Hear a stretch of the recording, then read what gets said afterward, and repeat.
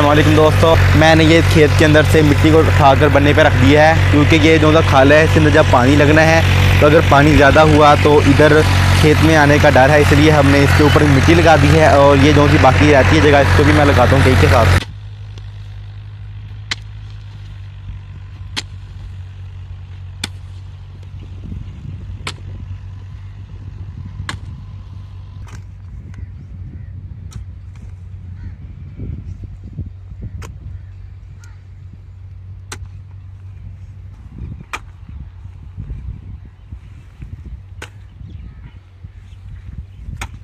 बन रही है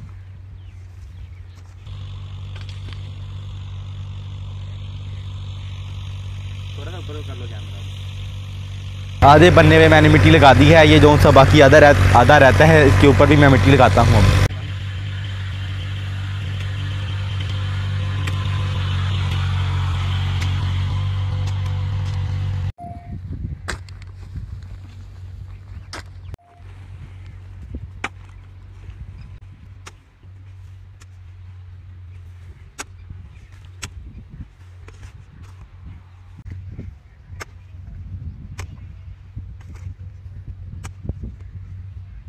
देखिए, मैंने इस बन्ने के ऊपर मिट्टी जो ये डाली है, ये नीचे देखें आप। अब मैं इसको पाँव से दबाने लगा हूँ, क्योंकि मिट्टी मैंने अभी अभी डाली है, इसलिए अभी मिट्टी ताज़ा है, जमी नहीं है। खाले, जब खाले के अंदर पानी आएगा तो इस खेत में जा सकता है, इसलिए मैं अब इस पाँव के साथ, इस मिट्टी को दबाऊँगा।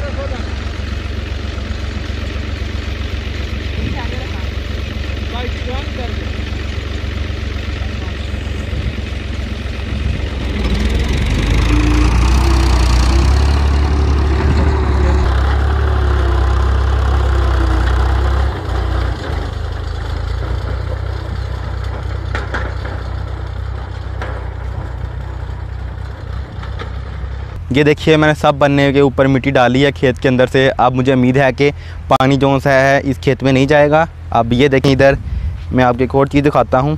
अब ये सामने देखे दो नक्के हैं। अगर मैं ये इस वाला खोलूँगा तो इधर पानी जाएगा इस खाल में आगे। देखें, अगर मैं ये वाला अभी भी खुला, ये वाला फ़िलहाल खुला हुआ है, पानी सबसे पहले इधर को जाएगा। अगर मैं इसको बंद कर दूँगा तो पानी इधर को जाएगा। मैं आपको दिखाता भी हूँ। चल।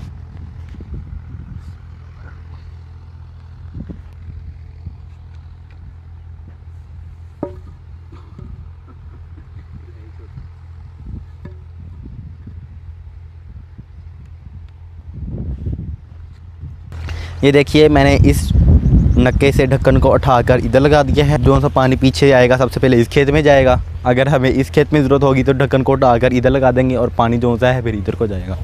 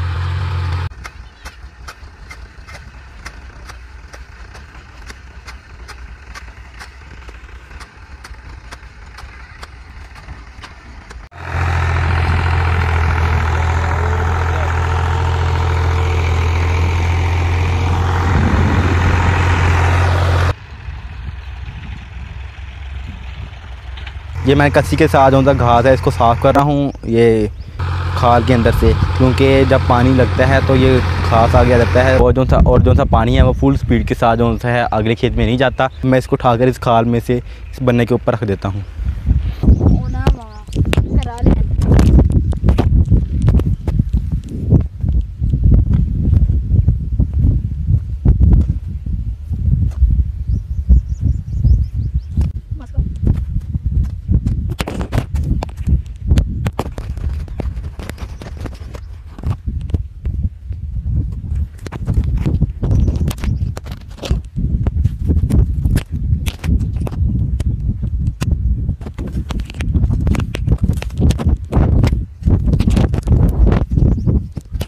खाल से जो सा पानी है वो स्पीड से जाता है, अगर हम घास को साफ़ ना करें तो अगले हमारे खेत में जो सा पानी है वो जाता नहीं है, हमारा जो सा पानी का वक्त है वो ख़त्म हो जाता है और पानी जो सा है पूरे खेत में लगता नहीं है, इसलिए हमें इधर से घास निकालना पड़ता है, जब बड़ा हो जाता है एक महीने बाद।